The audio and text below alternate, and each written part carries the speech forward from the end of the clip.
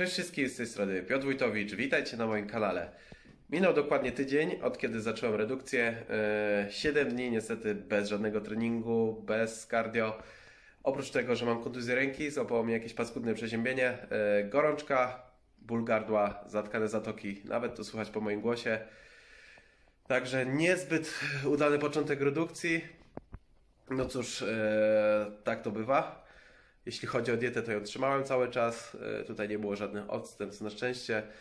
Spadło troszkę z wagi, ale niestety nie jest to tkanka tłuszczowa, a nabicie, czyli glikogen i woda. Moja sylwetka zrobiła się taka płaska, bez wyrazu. No tak bywa niestety.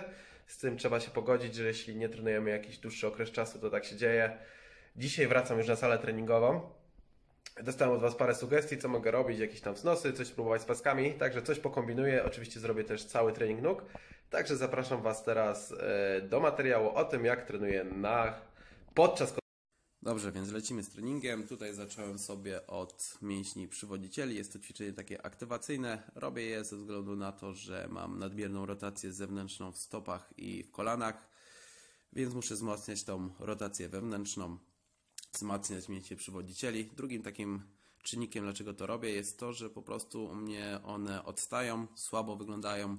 Muszę je poprawiać, yy, wzmacniać, tak żeby ta sylwetka była kompletna. I wykonuję sobie tutaj 3 serie po około 15-10 powtórzeń. I potem przechodzę już do przysiadu. Dzisiaj z taką dziwną sztangą. I od razu Wam powiem, że bardzo jej nie polecam, po prostu była niewygodna. E, wybrałem ją dlatego, że mogłem ją trzymać jedną ręką z przodu, ale zauważcie na moją pozycję głowy, była bardzo mocno wysunięta do przodu, przez co potem cały dzień bolał mnie kark. No ale już trudno, zrobiłem sobie tutaj trzy serie po 6-8 powtórzeń, nie jakiś tam dużym ciężarem. Wiadomo, wracam po chorobie, więc też nie chciałem zbyt mocno się przeciążać. I od razu potem przechodzę do żurawia, mojego ulubionego ćwiczenia, jeśli chodzi o mięśnie kulszowo-goleniowe oraz dwugłowe uda. E, świetne ćwiczenie, naprawdę polecam każdemu sobie wrzucić do planu treningowego. Ja tutaj akurat wykonuję 4 serie po 10 powtórzeń. Czasami też dodaję do tego ćwiczenia obciążenie. I od razu sobie przechodzę tutaj do uginania nóg na maszynie. Ćwiczenie bardzo znane, ale mam dla Was taką sugestię, żebyście pamiętali o tym, żeby spiąć tutaj mocno pośladki i mocno brzuch, bo inaczej po prostu Wasz odcinek ledziowy mocno będzie przejmował pracę i potem będzie Was po prostu blało. A tutaj już mamy prostowanie ud na maszynie, ćwiczenie, którego bardzo, bardzo dawno nie wykonywałem, ale postanowiłem sobie wrzucić tutaj do treningu, żeby troszkę te nogi jeszcze dopompować. Także zrobiłem sobie tutaj 4 serie po 10 powtórzeń i potem od razu przechodzę do unoszenia ramion na boki. 3 serie po 10 powtórzeń. No i trening zaliczony. Jestem szczęśliwy, że w końcu mogłem wrócić na salę treningową. Będę robił te nogi co drugi dzień, także muszę sobie rozłożyć objętość, do tego codziennie cardio.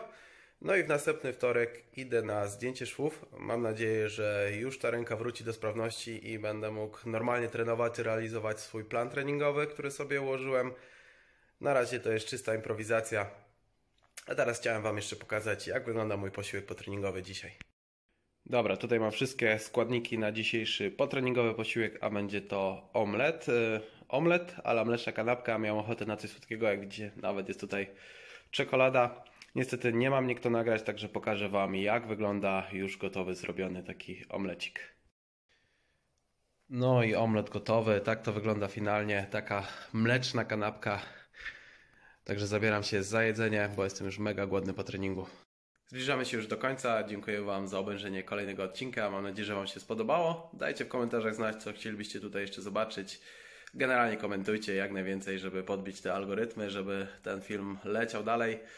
Także dajcie też lajka, subskrypcję i życzę Wam wszystkiego dobrego. Mi życzcie zdrowia, bo się przyda.